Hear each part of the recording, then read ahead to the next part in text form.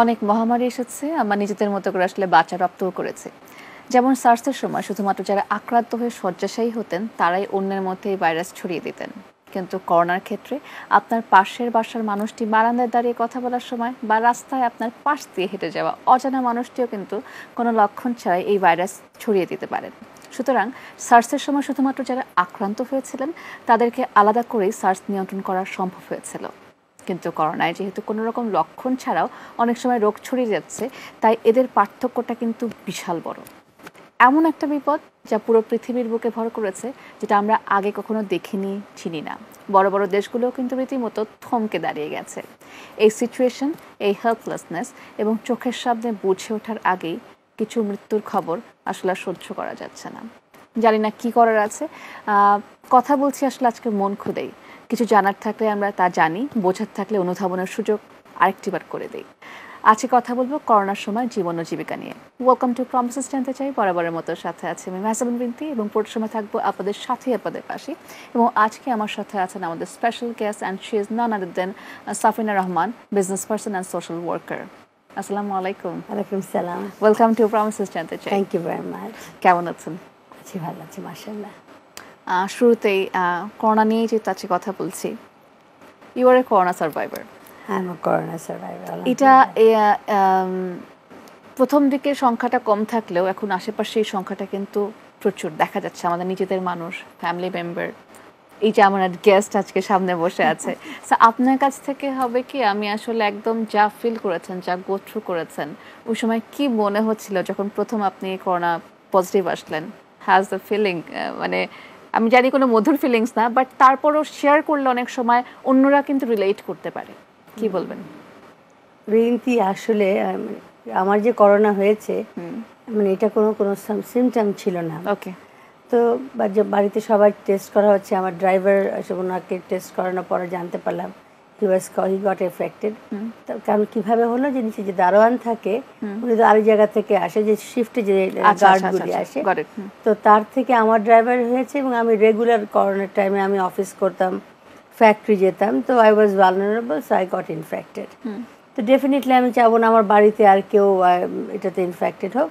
তো আমি একটা সেলফ আইসোলেশনে চলে গেলাম অনলাইন ডক্টরস থেকে মেডিকেশনগুলি নিলাম। কিন্তু যা দেখলাম যে হোম রেমেডি আলটিমেটলি বেশি কাজ করে। অফকোর্স একটা প্রেসক্রিপশন তো আছে অ্যান্টিবায়োটিক খেতে হবে। ইউনো যা যা খেতে হবে ভিটামিন কিন্তু ভিটামিনসগুলি খেতে হয়েছে। বাট মোর ইন্টারেস্টিংলি ও যখন তুমি আইসোলেশনে চলে যাও অনেকটা জেলখানার মতো বিকজ তুমি নিজেকেই নিজে আড়াল করে রাখো। এবং ওই সময়টা না একটা অদ্ভুত টাইম আর অনেক কিছু মনে হয় জীবনের অনেক কিছু করা হয়নি। যেটা ধরা করা উচিত ছিল। মানে ইউনো মানে একটা মানে একটা সেলফ রিয়েলাইজেশন নিজের সাথে নিজের কথা বলা মানে নিজের মানে অনেক অনেক চিন্তা করার একটা সুযোগ হয়। এবং আমি এই জিনিসটাকে খুব পজিটিভলি নিয়েছিলাম আলহামদুলিল্লাহ। যেটা তো নিশ্চয়ই হয়েছে সবার হচ্ছে আমি ওয়ান অফ দ্যাম অন্তত আমি নিজের বাড়িতে আছি চিকিৎসাটা পাচ্ছি। কত লোক তো জানেও না যে তার হচ্ছে। আবার অনেকে আছে যে হয়ে হয়ে ভালো হয়ে যাচ্ছে জানেও না। কিন্তু যে আলটিমেটলি জিনিসটা হলো যে পরিবারের যে একটা সহানুভূতিটা খুব ইম্পর্টেন্ট কারণ আমি যখন ঘরের মধ্যে ঢুকে যাই তো আমার তো তখন আমার দরজার সামনে ওয়ান টাইমে আমার খানাগুলি আসতো। So I used to clean my own room I used to clean my own bathroom because আমি তো চাইনি যে কারোর বেশি কিছু হোক। বাট এই করোনাটা নিয়ে এত চিন্তা করার কিছু দেখি না আমি আই পার্সোনালি ফিল যে প্রিকশনটা যদি নেওয়া যায় জীবন তো থেমে থাকবে না। এখন কথা হলো যে আমাদের গভর্নমেন্ট লকডাউন দিচ্ছেন অনেক কিছুই করছেন এটা আবার আসলে আবার গার্মেন্টের কথাটা আসে। তো এটা নিয়ে পরে কথা বলি বাট আমার নিজের কথা বলি যে করোনা জিনিসটা মানে ভয় পেলে ভয় পাওয়া যায় আর ভয় না পেলে না না পেলেও হয়। আর মেইন প্রবলেম হয় যদি তোমার অক্সিজেন স্যাচুরেশনটা কমে যায় তখনই হসপিটালাইজেশনটা করা মানে করতে হয়। সো যারা দর্শক সামনে আছেন বা তোমাকেও বলছি যে বাড়িতে এই মানে ব্যাকআপ সাপোর্টটা রাখতে হবে। এখন যেরকম আগে মানুষের শাড়ি গয়না কাপড় কিনে এখন বাড়িতে একটা অক্সিজেন সিলিন্ডার রাখা অক্সিমিটার রাখা একটা ব্লাড প্রেশারের মেশিন রাখা আপনার সুগার টেস্ট করার মেশিনটা রাখা এগুলি এখন বেসিক জিনিস। হ্যাঁ এগুলি এখন আর কোনো এগুলি এখন বাড়ির আসবাবপত্র যেরকম একটা মানে মিনিমাম লাগে এইটা এক্স্যাক্টলি এখন এটা তাই রাখা উচিত। প্রত্যেকটা বাড়িতেই এটা দরকার এখন। আমি যদি এই ব্যাপারে জানতে চাই যে আপনি খুব সহজ করে সুন্দর করে বললেন এবং ইউ গট লাকি মাসাল্লাহ এবং অবশ্যই ইমিউন সিস্টেমটা এখানে খুব ইমিউন সিস্টেম বলে পজিটিভ একটা এনার্জি এই ব্যাপারগুলো কিন্তু খুব শক্তভাবে কাজ করে। কারণ এটাই আমার একমাত্র ঢাল। কিন্তু কারও যদি অক্সিজেন স্যাচুরেশন ফল করে কমে যায় যখনই হসপিটালে দৌড়াদৌড়ি ব্যাপারটা আসে এই করোনাকালীন সময় পুরো ফ্যামিলি কিন্তু পাজল হয়ে যায়। নট অনলি দ্যাট এখন হসপিটালের অবস্থাও খুব খারাপ। পেশেন্টের সংখ্যা এত বেশি। আসলে আমি যেটা দেখলাম আমার এক্সটেন্ডেড ফ্যামিলিতেও যেহেতু করোনা পেশেন্ট আছে তার যেহেতু অক্সিজেন স্যাচুরেশনটা ফল করেছে তার কিন্তু ভোগান্তির পরিমাণটা অনেক বেশি ছিল।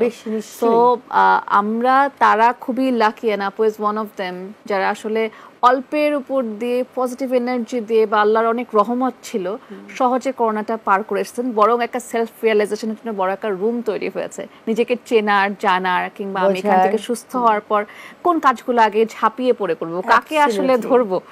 এই ব্যাপারটা নতুন করে জীবন রিয়েলাইজ পেয়েছি। একটা আবার মনে হলো যে আমি আবার আমার একটা রিবার্থ হলো। এবং অনেক কিছু আহ, যখন তুমি একটা অন্ধ একটা একলা মানে পড়ে যাও তখন হয় কি জানো? বা তখন ইচ্ছা করলে তো কেউ আসতে পারে না হ্যাঁ? আমার মেয়েরা ফোন করে কান্নাকাটি করছে, এই সে আমার বোন উপরে আছে, আমার ফ্যামিলি আমার মামিরা, আমার চাচারা পুপুরা কল করছে। মানে ওই ফোনগুলি অ্যাটেন্ড করাও একটা বড় কাজ হয়ে যাচ্ছিল। বাট এখন যেহেতু সব জুম হচ্ছে তো এগুলি এখন আবার এই প্রযুক্তিও তোমাকে বিজি রাখে। নামাজ পড়ার জন্য টাইমলি অনেক কিছু টাইমলি করতে হয়। আর কিছুটা নিয়মানুবর্তিতার মধ্যেও পড়েছি। সো এটার একটা পজিটিভ সাইড মানুষ যখন প্রতি প্রকৃতিকে অ্যাবিউজ করে তখনই কিন্তু এটা একটা ধাক্কা আসে। তো আমারও তাই মনে হয় যে ধাক্কা শেষ হয়ে যাবে এবং আবার আমরা নর্মাল লাইফে ফেরত যাব। এই সময়টা আমাদের জন্য একটু কেয়ারফুল থাকতে হবে পজিটিভ থাকতে হবে, সহানুভূতিশীল থাকতে হবে এবং একজন আরেকজনের পাশে দাঁড়াতে হবে। থ্যাংক ইউ সো মাচ আমরা কথা বলছি করোনার সময় জীবন ও জীবিকা নিয়ে। আজকে আমার সাথে সাফান আপু আছে এবং করোনা সার্ভাইভার তো, করোনা সার্ভাইভার তো তার কাছ থেকে বেশ খুঁটিনাটি কিন্তু জানলাম সিচুয়েশনগুলো কেমন ছিল। এই মুহূর্তে একটা ছোট্ট ব্রেক নিয়ে ফিরছি। ফিরে এসে আরও সময় ধরে কথা বলছি। সাথেই থাকুন।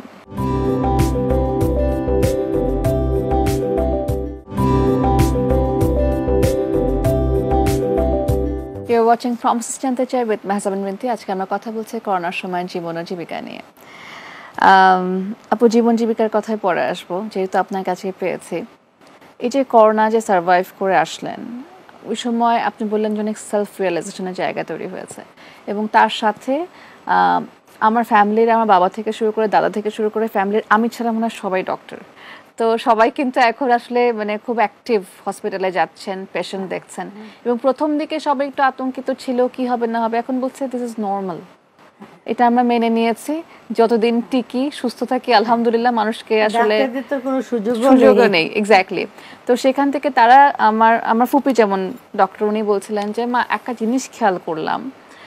কোনো তো মেডিসিন বা ভ্যাকসিন এখনও আসেনি সেভাবে। প্লাজমা থেরাপির যে কথা হচ্ছে সেটা হচ্ছে একদম অথেন্টিক বা ওয়ার্ল্ড ওয়াইড স্বীকৃত কোনো প্রসেস তাও কিন্তু না। এটা আমরা ভাবছি, মনে করছি, দিলে শান্তি পাচ্ছি যদি ভালো হয়। এই ধরনের একটা অবস্থার মধ্যে আছে।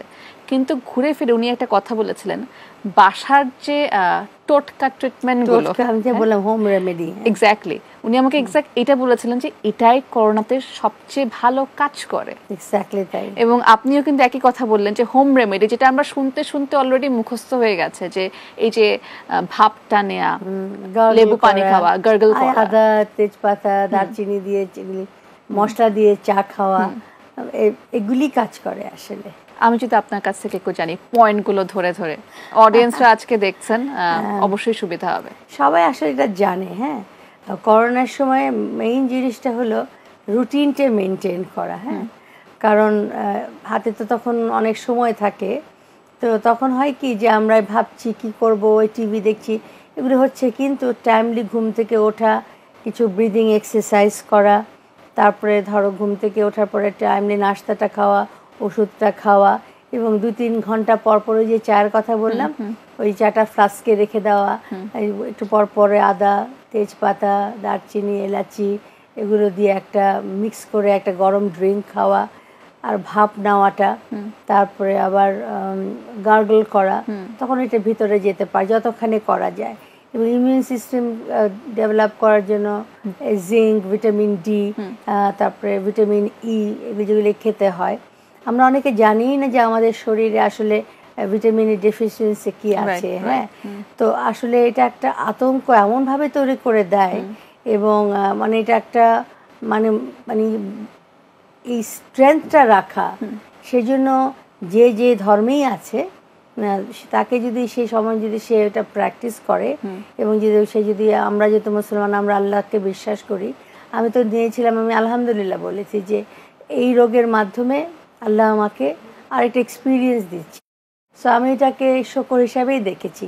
এবং আমি মনে করি যে যেরকম আমি আর জয়েন্ট তাফসির ক্লাস আর জয়েন্ট কোরআন ক্লাস যেগুলি আমার এতদিন আমার সময় হয়নি। বা করি করি করে বলে আবার করে নতুন করে করছি। তো এই সময়টা অনেক সময় থাকে এই এই কাজগুলি করবার জন্য। আর বাসে ইন্টারনেট থাকলে আর কোনো সমস্যা নেই। কিন্তু এই করোনা জিনিসটা যতখানি না মানুষকে মারছে আমার মনে হয় আমাদেরকে আতঙ্ক আরও বেশি করে দিচ্ছে এবং এই এই ডিস্টেন্স রাখা এগুলি তো ধরেন সবাই সরকার বলছে আমরা করছি কিন্তু মনের ডিস্টেন্সটা যেন না হয় ওইটা খুব দেখতে হয়। তো আপনার কি মনে হয় যে বিং অ্যান ওনার আপনি গার্মেন্টসের সাথে জড়িত তো সব কিছু মিলিয়ে আপনার কি মনে হয় যে সিচুয়েশনটা কোন দিকে যাচ্ছে? আমি মনে করি সিচুয়েশন অনেক বেটার হচ্ছে হ্যাঁ? কারণ যারা ডেইলি লেবার যেরকম রিক্সাওয়ালা বলেন ঠেলা গাড়িওয়ালা বলেন অনেকের বাসা থেকে ছুটা যারা কাজ করে তাদেরকে ছাড়িয়ে দিয়েছে কারণ তারা কোথায় থাকে বস্তিতে থাকে না কই থাকে তারা কি ধরনের জার্ম নিয়ে আসে সেজন্য অনেক মানুষ কিন্তু আর এখন আনএমপ্লয়েড হয়ে গেছে। আমি নিজে রোটারি থেকে দেখেছি প্রচুর রিক্সাওয়ালা যারা কখনো আগে হয়তো ভিক্ষাবৃত্তি করতো করবে না বলে তারা কাজ করছিল তারাও কিন্তু এই মানে মানে আবার ভিক্ষাবৃত্তিটাকে তারা বেছে নিয়েছে। এটা তাদের দোষ না তাদের তো পরিবার চালাতে হবে। তো এটা একটা ইনিশিয়াল ধাক্কা ছিল ডেফিনেটলি সবার জন্য। আমরা নিজেরাই জানতাম না কি হবে। এবং যেহেতু আমরা গার্মেন্টে আছি সরকার থেকেও আমাদের উপরে প্রেশার আছে শ্রমিক ছাঁটাই না করার জন্যে। আমরা আমরাও ওই ব্যাপারে অত্যন্ত সচেতন আমরাও চাই না যে আমাদের ফ্যাক্টরি থেকে তারাও তো আমাদের পরিবার তারা তাদেরকে আমরা লে অফ করে দিই এটা আমরাও চাচ্ছি না। কিন্তু হয় কি যদি আমার হাতে এনাফ অর্ডার না থাকে অর্ডার ক্যান্সেলেশন হয়ে যায় তাহলে আমি আমি কোথা থেকে দিব? না আমরাও তো ব্যাংকের ইন্টারেস্ট নিয়ে আমাদের চলতে হয়। কিন্তু এটা একটা অমানবিক ব্যাপারও হয়ে যায়। আমি মনে করি আমাদের দেশের মানুষরা যথেষ্ট সচেতন হ্যাঁ ঈদের আগে একটা প্রচুর লোক দেশে গেছে আমরা সবাই দেখেছি। কিন্তু যতখানি না হয় মিডিয়া আরও বেশি করে ফলাও করে দেখায়। কিন্তু একশো ষাট মিলিয়ন দেশের মানুষের আমাদের তো হাঁটাহাঁটির জায়গা নেই। সুতরাং আমাদেরকে তো বুঝতে হবে যে এই লোকগুলি যাবে কোথায়। আমরা ফ্যাক্টরিগুলিতে সব রকমের মেজার নিচ্ছি। হ্যাঁ আসার আগে আমাদের ওদের আমরা আমাদের টেম্পারেচার দেখছি হাত ধোয়ার জন্য নতুন করে জায়গা হচ্ছে অ্যানাউন্সমেন্ট হচ্ছে। কিন্তু ওখানে যিনি আমাদের মানে আমাদের যারা মানে আমাদের ফ্যাক্টরি যারা কর্মীরা তারা যে জায়গায় থাকে ওই জায়গাটা তো আর আমরা এনশিওর করতে পারি না। আমরা আমাদের ওয়ার্ক প্লেসে এনশিওর করতে পারি। কিন্তু উনি যেখানে থাকছেন সেখানে উনি কীভাবে থাকছেন সেটা তো আর আমরা এটা আমাদের দেখা সম্ভব হয় না। কিন্তু আমি শিওর যে সচেতনতা এখন আরও বাড়ছে এবং আই এম ভেরি পজিটিভ এবং প্রমিসে যে এসে তো আরও বেশি পজিটিভ যে দেশ ঘুরছে ভালো হবে আর প্রচুর অর্ডার চায়না থেকে বাংলাদেশ এখন আসছে। আমি আমি খুবই হোপফুল যে আমাদের এই সময়টা ইনশাল্লাহ বেশি দিন থাকবে না। এটা আমাদেরও মনে হচ্ছে, আমারও মনে হচ্ছে। আমি যখন এখন, আমি খুব কম বের হই বাসা থেকে, খুব এমার্জেন্সি না হলে। মানুষ কিন্তু এখন স্বাভাবিক একটা রুটিনে ফেরত এসেছে এবং ভালো লাগে যে সবাই যখন মাস্ক পরা। এই সিনটা কখনো আমরা স্বপ্নেও ভাবিনি ইটস এ রিয়েলিটি এবং সবাই পড়ছে, সব স্তরের মানুষ। যারা আসলে মাস্ক কি এটা হয়তো বা জানতো না বা কেন পরে জানতো না। সচেতনতার জায়গা থেকে কিন্তু তারা পড়তে বাধ্য হচ্ছে। সবাই মিলে একটা নতুন ভাবে যুদ্ধ করছি লড়ছি ভালো থাকার চেষ্টা করছি এটাও একটা পজিটিভিটি আসলে দেয়। আল্লাহ আমাদের সবাইকে সুস্থ রাখুক। সেটাই সবচেয়ে বড় পাওয়া হবে এই সময়। এই মুহূর্তে একটা ছোট্ট ব্রেক নেওয়ার জন্য ইনস্ট্রাকশন চলে এসেছে। ব্রেক নিয়ে ফিরছি। সাথেই থাকুন। একদম শেষ পর্যন্ত। Be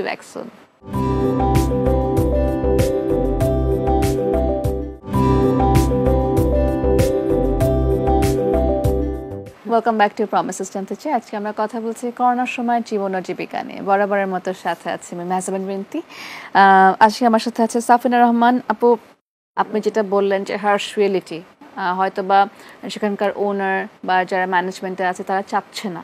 কিন্তু তাদেরও তো কোথাও থেকে আসলে সেই সোর্সটা এনে সেখান থেকে তাদেরকে দিতে হচ্ছে। তো আমার যদি সেই রিসোর্সটাই না থাকে আমি তোমাদেরকে কীভাবে দিব?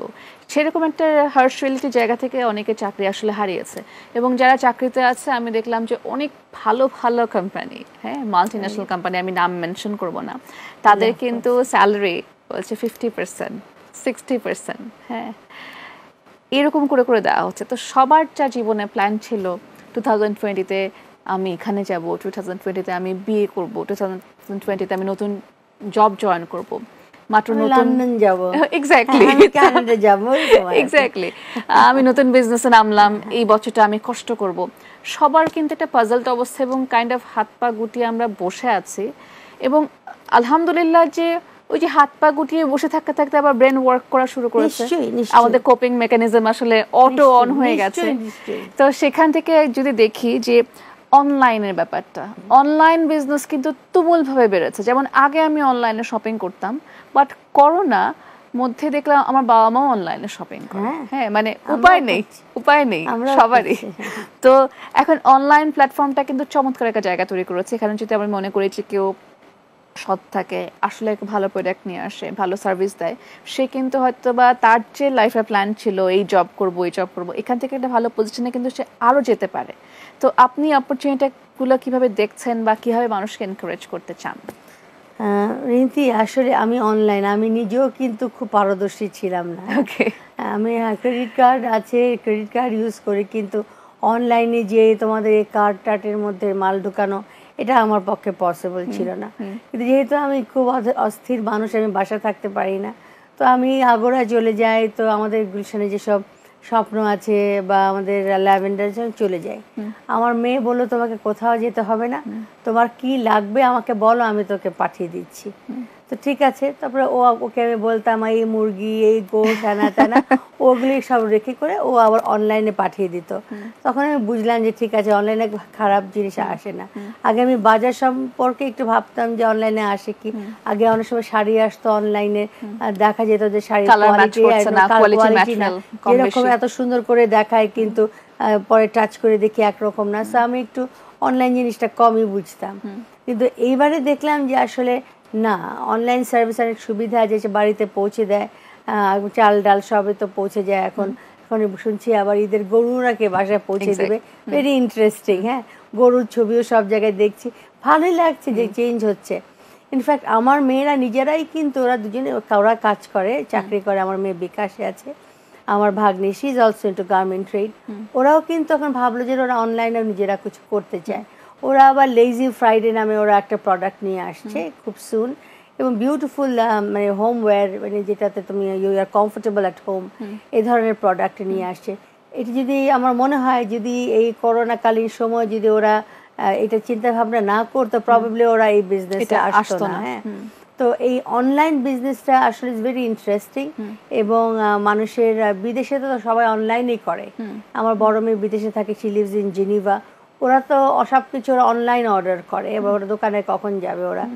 তো অনলাইন বিজনেস বেরোচ্ছে নতুন নতুন আইডিয়া হচ্ছে এবং এখানে অনেকেও কিন্তু অন্টারপ্রিনারশিপ ডেভেলপ করছে। তো সুতরাং মানে একটা একটা এরকম প্রাদুর্ভাবের সময় একটা একটা মানে পজিটিভ নেগেটিভ দুটো সময়রই আমাদের দেখতে হবে।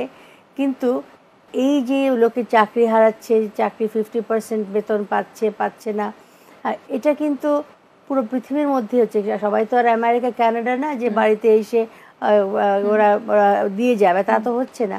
আমাদের দেশের মতো মানুষের সরকার যতখানি সাপোর্ট করছেন বিজনেস প্রমোশনের জন্য এটা সত্যি প্রশংসনীয় এবং এটাকে ডিসঅ্যাডভান্টেজ ভাবে আম- যদি আমরা মিসইউজ না করি তাহলে ডেফিনেটলি এই প্রণোদনা বলেন এই সাপোর্ট বলেন এগুলিকে কাজে লাগানো সম্ভব এবং নতুন নতুন উদ্যোক্তা তৈরি হবার এখনই টাইম বাহ। আম, আমার যেটা মনে হচ্ছিল আমি নিজেও যেহেতু অনলাইনে বিজনেস করি বা এন্টারপ্রেনার হিসেবে কাজ করার আমার অনেক আগে থেকে ছোট থেকে স্বপ্ন ছিল। করছ? হ্যাঁ। তো আমার এটা টু ইয়ার্স আগে স্টার্ট করা। কিন্তু এখন এসে আমার মনে হলো যে আই থট যে এই সময় হয়তো মানুষের ইউনো সেলটা কমে যাবে। আমার জাস্ট যখন করোনা শুরু হলো তখন। বাট এটা এক্স্যাক্টলি একটা অপোজিট সিচুয়েশন দাঁড়াল। এই সময় মানুষ অনলাইনে বেশি পারচেস করছে। যদিও আমার একটা লাক্সারি আইটেম স্টিল তা আমি সেখানে চিন্তা করলাম এই সময় যদি কেউ একটা ভালো ডেলিভারি সার্ভিস একটা ভালো ডেইলি যে বেসিক নেসেসিটির যে ব্যাপারগুলো যে দ্রব্যগুলো এগুলো নিয়ে যদি কেউ কাজ করে এবং ভালো করে সে কিন্তু এখানে ফ্লারিশ করতে বাধ্য বাধ্য। সো অপরচুনিটি অনেক আছে আমরা অনেক সময় অনেক হায় হায় করি, এটা থাকল না, ওটা হলো না, এভাবে প্ল্যান করলাম, হলো না। কিন্তু বলে না, প্রত্যেকটা ক্রাইসিস কিন্তু একটা অপরচুনিটি নতুন আমাদের সামনে নিয়ে হাজির করে। আমার একটু খুঁজে, আমার কোথায় স্ট্রেংথ আমার কোথায় শক্তি সেটা খুঁজে নিয়ে আসলে পরিশ্রম করতে হবে। দেখবেন যে এই জীবন জীবিকা নিয়ে আমাদের আর কথা হয়তো বা বলতে হবে না বা শো করতে হবে না বা এই যে দুঃখজনক হতাশাজনক কথাগুলো বলতে হবে না। আর ইয়াং জেনারেশন তো অনেক স্মার্ট নিশ্চয়ই হ্যাঁ দে এভরিথিং আমাদেরকে আমরা ব্লেসড যে আমাদের কাছে ইন্টারনেট আছে সব আছে দুনিয়া হাতের মুঠোয়। আহ, তো এই মুহূর্তে একটা ব্রেক নিয়ে ফিরছি। তারপর আমি একটু সময় ধরে কথা বলছি। So you watching from system থেকে একটা ব্রেক নেওয়ার জন্য ইনস্ট্রাকশন চলে এসেছে। ফিরছি খুবই তাড়াতাড়ি সাথেই থাকুন।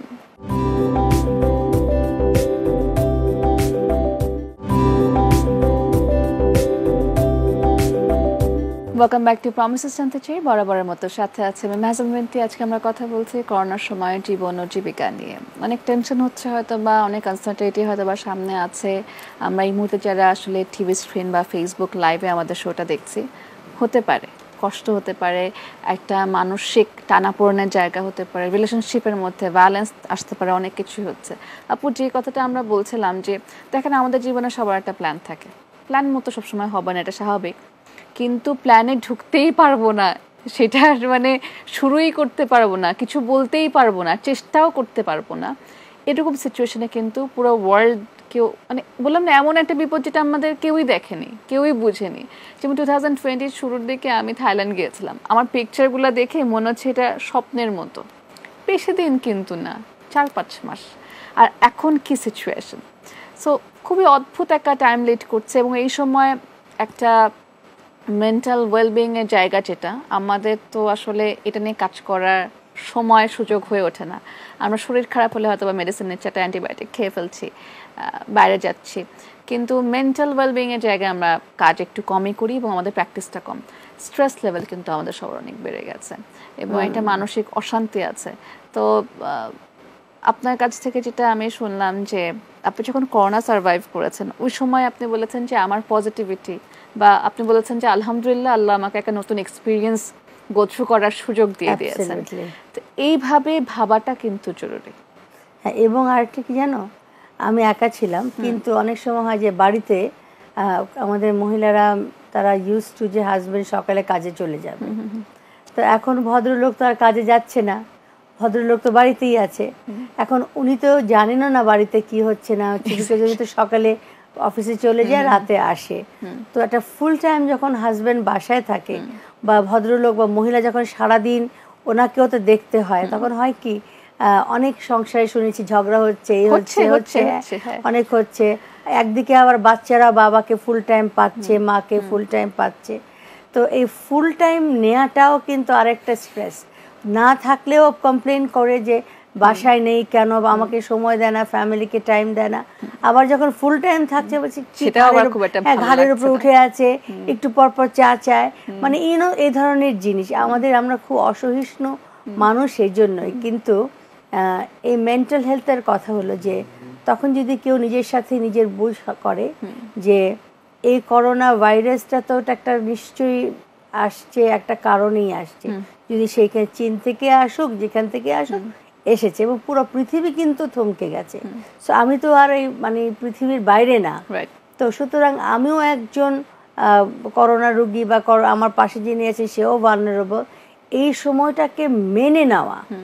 আমাদের আমার রোড আমার এক ভাই বলে মনে নেওয়া মেনে নেওয়া মানিয়ে নেওয়া। আমি এটা খুব রিয়েলাইজ করলাম ওর কথাটা। খুব বলে মনে নেওয়া মেনে নেওয়া মানিয়ে নেওয়া। এই তিনটাই কিন্তু এই সময়কার জন্য প্রযোজ্য। জীবনের হ্যাঁ, জন্যই জীবনের জন্য প্রযোজ্য। তো এই যে মনে নেওয়া মেনে নেওয়া এবং মানিয়ে নেওয়া এই তিনটা জিনিস আপনাকে ভিতরে আত্মস্থ করতে হবে যে না এই সময়টা এসছে আমার পরিবারের জন্য আমাকে সাপোর্টিভ হতে হবে, এই সময়টুকু এনজয় করতে হবে এবং এই যে যদি কারোর করোনা হয়েও থাকে, যদি তাকে হসপিটালাইজেশন না হতে হয় তাহলে সে বেঁচে গেল। আর যদি হসপিটালাইজেশন হতে হয়, মুশকিল হয় কি? হসপিটালে যখন নিয়ে যায়, ওই যখন আইসিউ এর মধ্যে ঢুকিয়ে দেয় ওখানে তো আর ঢোকা যায় না খবরও পাওয়া যায় না। ডাক্তাররাও মানুষ। আমরাও ডাক্তারকে বলি হ্যাঁ ফোন ধরে না অনলাইন কিন্তু তাদেরও তো লাইফ রিস্ক আমার অনেক প্রচুর ডক্টরসরা আছেন বন্ধু তারা তো সব বাড়িতে বসে আছে। তো আমি একজনকে বললাম আমার খুব বিখ্যাত একজন বড় ডাক্তার উনি হার্টের সে বাড়িতে বসে। আমি বললাম কি তোমার কি কোনো দায়িত্ব নেই যে তুমি বাসায় বসে আছে? তোমার পেশেন্ট দেখো কখন? ও বললে আমি কি মানুষ না? আমি আমার চিন্তা করলাম আসলে তো মানুষ হ্যাঁ? তো আসলে মানে এরকম we expect so much from them কিন্তু আসলে কিন্তু তারা যোদ্ধা। ডাক্তার বলেন নার্স বলেন তারাও তো যোদ্ধা। তারা ডিরেক্টলি কাজ করতেছে উইথ দ্য পেশেন্ট আর এই অ্যাটেন্ডেন্টদের উত্তর দিতে দিতে তাদের অবস্থা তো আরও খারাপ হয়ে যায়। কিন্তু সেই জন্যই আমি মনে করি যে নিজেকে নিজে কতখানি ভালো রাখা যায় সচল রাখা যায় নিজেকে নিজে কতখানি মেডিটেশন করে যে আগে বললাম যে যে ধর্মে প্র্যাকটিস করে সেটা তো আলটিমেটলি তো ফেরত যেতে হবে টুডে অর টুমরো মৃত্যু তো আমার হবেই। এখন আমার করোনায় হোক বা আমি গাড়ি অ্যাক্সিডেন্ট করে হোক হার্ট অ্যাটাক করে হোক ব্রেন স্ট্রোক করে হোক আমার মৃত্যুর তো একটা কারণ থাকতে হবে। হ্যাঁ তো আমরা তো নিশ্চয়ই মৃত্যুকে ইনভাইট করি না। কিন্তু মৃত্যু তো হবে সুতরাং এটা যদি মেনে নেই যে না আমাকে যেতে হবে যত গ্রেসফুলি যেতে পারি যত কম ট্রাবল পরিবারকে দেওয়া যায় সেটাই। কিন্তু মেন্টাল স্ট্রেংথটা আসলে নিজের কাছে। এবং যে মানুষ আগের থেকেই মেন্টাল স্ট্রেংথ থাকে তার জন্য করোনা হলে একটু বাঁচতে সুবিধা। আর যে মানুষ একটু বেশি ভীতু প্রকৃতির এবং পরিবারের থেকে সাপোর্টটা কম, আর হাই হাই কি হলো কি হলো, এইসবের কারণেই আরও বেড়ে যায়। আই মাস্ট টেল ইউ আজকে আসছি যখন তোমার সাথে গল্প করতে। আমার দুই মেয়ের কান্না, টেলিফোনে মানে কানতে কানতে ওদের, আম্মা, তোমার কি হবে? আমি বললাম, তো কি হয়েছে আমার? হ্যাঁ তোমার করোনা হচ্ছে। আমি তো কী হয়েছে করোনা হয়েছে? মানে ওরা আমার কথা শুনে দেখে যদি মুখ চুপসে যাচ্ছে, ওরা বুঝতেছে না যে ওরা কীভাবে রিয়াক্ট করবে। আমাকে আমার মেয়েরা লোকরা বলে we are very proud of you তো আমি তখন ওদেরকে কিছু বলি নাই, কিন্তু আমি আজকে বলি, আমি সত্যি আমিও ভয় পেয়েছিলাম হ্যাঁ। ওরা কাঁদতেছিল ওদের ওদের কান্না দেখে আমারও কিন্তু খুব কান্না পাচ্ছিল but I thought myself যে, না, আমি যদি এখন ভেঙে যাই, ওরা কাছে আসতেও পারবে না, একজন তো বিদেশে থাকে আসতে পারবে না, যেটা দেশে আছে ওটাও আসতে পারছে না, আসতে দিব না, কিন্তু এই যে ওদেরকেও আমি হাফ ডেট করে ফেলব। তো খামাখা আমার পরিবারকে মানে অশান্তি করে তো আমার লাভ হবে না হ্যাঁ? তো সুতরাং আমার কাছে স্ট্রং থাকা ছাড়া আমার কাছে আর কোনো উপ- উপায়ও ছিল না বাট আলহামদুলিল্লাহ সময়টা কিন্তু কেটে যায়। এবং আরেকজনকে সহানুভূতি দেওয়া আমি রেডি আমার প্লাজমা আরেকজনকে আমার এই বি পজিটিভ কার লাগবে? আমি আমার আমার নিস আমার নিজের ভাগ বাড়িতে ছজনের ছিল করোনা আমাদের বিল্ডিংয়ে এবং আমরা সবাই সবাইকে খুব সাপোর্ট করেছি। হ্যাঁ তো এটা এটা একটা ভালো জিনিস ছিল। করোনা নিয়ে আসলে আমার অনেক এক্সপিরিয়েন্স শোনা হয়েছে দেখা হয়েছে। শুনছি প্রতিনিয়ত আশেপাশের মানুষ আজকে। হ্যাঁ হ্যাঁ। দেখছি। তো সেখান থেকে থাকে না যে গল্প গল্পের মতো লাগছে। কারণ আপু এত সুন্দর করে সব এক্সপ্লেইন করছেন খুঁটিনাটি এবং পজিটিভ কথা শুনতে সব সময় মন ভরে যায়। এটা শুধু মানে অ্যাঙ্কার হিসেবে এই সিটে বসলাম আর বড় বড় কথা বললাম not like that I get touch যে ওয়াও এইভাবেও ভাবা যায় এভাবেও চিন্তা করা যায়। এবং আমি কবে জানি নামাজে বসে একদিন চিন্তা করছিলাম যে আসলে আমরা যেটা নিয়ে খুব হায় হায় করি ভাবি চিন্তা করি স্ট্রেস নেই নিজেকে কষ্ট দেই মানে একটা অশান্তির মধ্যে ডুবে রাখি এবং আশেপাশের মানুষকেও অশান্তি দেই। সো ওইটা কিন্তু দুই তিন বছর বা দুই মাস পর বা দুই দিন পর পার হয়ে যায়। পার হয়ে যায়। যাবেই যতই খারাপ সময় হোক পার হয়ে যাবে। সো আমি যদি করোনা একটা ফেজ ধরি সেটাও পার হয়ে যাবে।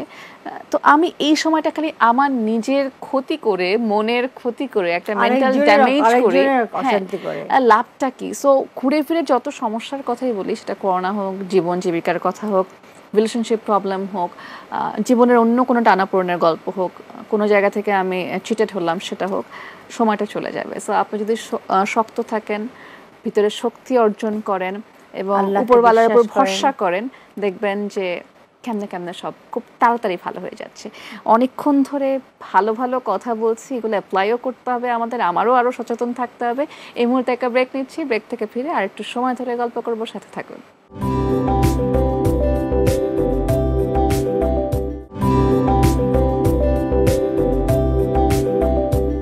You're watching Promises জানতে চাই with Mahzaban Vidya. আজকে আমার সাথে আছে Safina Rahman business person and social worker আমার খুব পছন্দের একজন মানুষ, পছন্দের একজন গেস্ট মানে বসলে গল্প হতেই থাকে, গল্প হতেই থাকে। আপু, একটু আসি। এই যে সেলফ রিয়েলাইজেশন নতুন নতুন আবেগের জায়গা তৈরি হওয়া এবং দেখবেন যে কোনো বিপদে পড়লে কিন্তু যে যে ধর্মেরই হই না কেন সৃষ্টিকর্তার প্রতি একটা ফেথ কিন্তু অটোমেটিক্যালি চলে আসে। লাইক যখন আমরা বিপদে পড়ি তখনকার নামাজের যে সেজদার মধ্যে যে শক্তি যে আবেগ যে কান্না যে হ্যাঁ হ্যাঁ। ওই সময় ওটা কিন্তু বোঝা যায় যে আই ক্যান কানেক্ট বাট যখন আমরা সুখে আছি ভালো আছি সব ভালো তখন আসলে জাস্ট কোনো মতে হয়তো দায়িত্ব পালন কিংবা অনেক সময় অ্যাভয়েডই করে যাচ্ছি। আহ, তো অনেক কিছু শিখিয়ে যায় এবং এখানে যেই মানুষ, আমি বলব যে ডেথ রেট বাংলাদেশে তুলনামূলক কম। কিন্তু যেই পরিবারগুলো আসলে কোনো কাছের মানুষকে হারিয়েছে, তারা কিন্তু আসলে বুঝছে যে করোনা কি জিনিস। যারা আমরা এখনও সাফার করিনি, এখনও ভালো করে সাজুগুজু করে বসে আছি আমরা মনে হয় কম বুঝব। আসলে আমি বুঝব না বিকজ সোফার আলহামদুলিল্লাহ আমি সুস্থ আছে আমার আশেপাশে আমার ফ্যামিলি সুস্থ আছে। তো তাদের তারা যা হারিয়েছে এটা তো তাদের কষ্ট তাদেরই। আমরা কেউই এটা কমাতেও পারব না হয়তো বা ফিলও করতে পারব না। তো তাদেরকে একটু মোটিভেট করার জন্য আসলে আমার মনে হয় যে আপনি যদি পজিটিভ কিছু বলেন। পজিটিভ কিছু বলার নাই রে। দেখো তোমাকে একটা কথা বলি। যখন এখন তোমরা বাড়িতে ছিলে যারা ওয়ার্কিং উইমেন তারা তো সকালবেলা বেরিয়ে যায়। তো এবারে ঘরের অনেক কাজ কিন্তু পেন্ডিং ছিল। যেটা নেক্সট উইকে করব নেক্সট উইকে করব ঈদের ছুটিতে করব ওই ছুটিতে করব করা হয়নি। মেয়েরা কিন্তু এখন অনেক অ্যাক্টিভ যারা বাড়িতে আছে। তাদের আলমারি গোছানো এটা সেটা অনেকে রান্না করছে যেটা এতদিন তারা করতে পারে Baking এ নেমে গেছে। যে যতটুকু পারে কাজের মানুষও যেহেতু কমে গেছে বাড়িতে সবাই থাকছে ইন্টারেস্ট নিচ্ছে একটা ফ্যামিলি টাইমও কিন্তু যাচ্ছে নেটফ্লিক্সে একসাথে মুভি দেখছে এগুলো তো করছে। এবার লেটস টক অ্যাবাউট মৃত্যু। আমার সাথে আমার কোম্পানির একজন ডিরেক্টর ফারুক ওর বাবা ওরা রংপুরে থাকতেন ওনারা। মানে বাবা খুব সুস্থ তার আগের দিনও ফোনে কথা হয়েছে আমাদের আমার সাথে। হঠাৎ করে ওনার শরীরটা খারাপ লাগল ফারুক দৌড়ে গেল। রংপুরে গিয়ে দেখল ওর বাবার অক্সিজেন স্যাচুরেশন সিক্সটি এইট। তো তাড়াতাড়ি ভয় করে রংপুরের মতো জায়গা রংপুর হসপিটালে নিবে না। ওরা আরেকটা সেকেন্ড হসপিটাল সদর হসপিটাল করেছে যেখানে ওরা করোনা পেশেন্টদেরকে রাখতো। এবং আমাদের চোখের সামনে আমি ঢাকা ছিলাম but constantly in touch I have seen Faruk lost his father আর ওর মা আপাকে রাখা হলো আইসিইউতে আমি একটা দেখলাম একটা ছেলে ওর ওর ভাই পাগলের মতো ছোটাছুটি করল ওরা। হ্যাঁ কীভাবে ভিতরে ঢুকতে পারছে না যা লাগবে ওখানে মাস্ক নেয় ঢাকা থেকে। লো আমাদের আরেক ওর ওই এক ভাইকে দিয়ে পাঠিয়ে দুটো মাস্ক সেই লোককে আরেক বাড়ি থেকে রাত সকাল ছটার সময় তুলে সেই ফ্লাইটে করে সৈয়দপুর পাঠালাম। সৈয়দপুর থেকে রংপুরে নিয়ে গেল দুটা মুখের মাস্ক অক্সিজেন নেওয়ার জন্য। এই ধরনের জিনিস মানুষ তখন ছোটাছুটি করে। কিন্তু আমি যদি এটা ভাবি যে না আমি I have done my best to support my family আমার নিজের স্যাটিসফ্যাকশন হতে হবে যে I have done my best বাবা মার জন্য করা কখনোই এনাফ না। হ্যাঁ বা সন্তানের জন্য করা কখনোই এনাফ না। কিন্তু আলটিমেটলি এই মৃত্যু জিনিসটা কিন্তু আমাদের হাতে নাই। আমরা বলি আমার ছেলে আমার মেয়ে আমার বাবা আমার মা এই করোনা তোমাকে শিখিয়ে দিয়ে যাবে আমার বলতে কিছু নেই। এগুলি সমস্ত আল্লাহ তালার হাতে এবং উনি যা ইচ্ছা করেন সেটাই হবে। আমার টাইম শেষ time up come this is what it is কিন্তু সচেতনতা রাখতে হবে আন্তরিকতা রাখতে হবে এবং মানুষ হিসাবে যতখানি সাপোর্ট যদি আমি না করি সেটারও আমার অ্যান্সার দিতে হবে। তো সুতরাং নিজেকে শক্ত রেখে পরিবারকে পাশে থাকা এবং সহানুভূতিশীল হওয়া এটা খুব দরকার এবং একটা স্বাভাবিক জীবনে ফেরত যাওয়া। কারণ যদি স্বাভাবিক জীবনে আমি ফেরত না যাই তাহলে আমি যে দুনিয়াতে যে আমি আছি আমারও তো এক্সিস্টেন্স থাকে না। কারণ আমার সাথেও তো আরও অনেক লোক আছে। মানুষের জীবন আমার সাথে যারা কাজ করছে আমার বিজনেস বলো বাড়িতে যারা বলো আর আত্মীয় স্বজন আছে তাদের প্রতিও আমার রেসপন্সিবিলিটি আছে। ওইটা তো থেমে থাকতে পারবে না। সুতরাং এই মৃত্যু জিনিসটা সবর করা এটা খুব ইম্পর্টেন্ট এবং এটাকে গ্রেসফুলি নেওয়া এবং এটাকে মেনে নেওয়া যে আই ডান মাই বেস্ট এখন আমার টাইম শেষ হয়ে গেছে গেছি কিন্তু এটা হলে এটা হতো এটা খুব একটা ইমোশনাল দিক এটারও দরকার আছে। কিন্তু এটাকে প্রলং করা যাবে না ইসলাম সেটা বলে না। সুতরাং আমাদেরকে সবর করতে হবে সাহায্য করতে হবে সহানুভূতিশীল হতে হবে। বাহ এর থেকে সুন্দর অ্যান্সার আসলে আর হতে পারে না।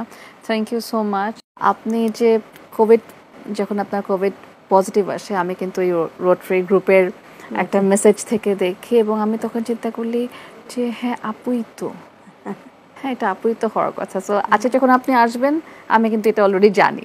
সো এই যে একটা দেখা হয়নি আমাদের মাঝখানে কয়েক মাস কিন্তু এই যে জানা একটা ফ্যামিলি আছে বলেই কিন্তু কোনো একটা উসিলাই হয়তো বা জানা। একটি নিশ্চয়ই পরিবার। হ্যাঁ তো সেখান থেকে যদি বলি যে এই রোটারি ফ্যামিলিতেই যদি দেখি বা আমাদের যে কোনো ফ্যামিলিতে প্রতিনিয়ত খারাপ খবর কিন্তু পাচ্ছি। পাচ্ছি আমরা। টেক্সট পাচ্ছি ফেসবুক গ্রুপে মেসেজ পাচ্ছি।